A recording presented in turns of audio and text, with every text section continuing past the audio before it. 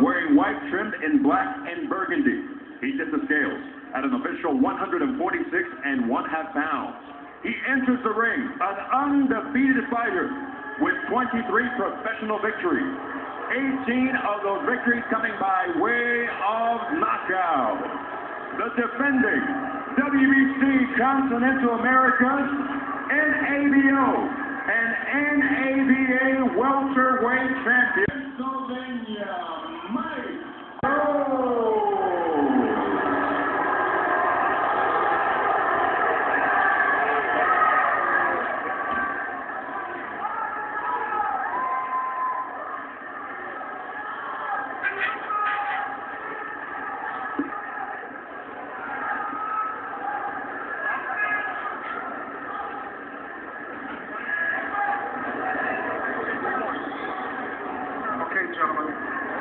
got a wide belt here. The lower half will be considered a low The lower half or the lower quarter, The just the size of a regular belt right Right, there. right. Look at. Right here, Joe. Right here. Okay. Fine. This is fine. I got it.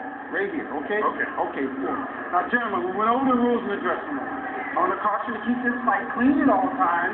Protect yourself at all times. And what I say, you must obey. Good luck. Touch them up. Keep your hands up.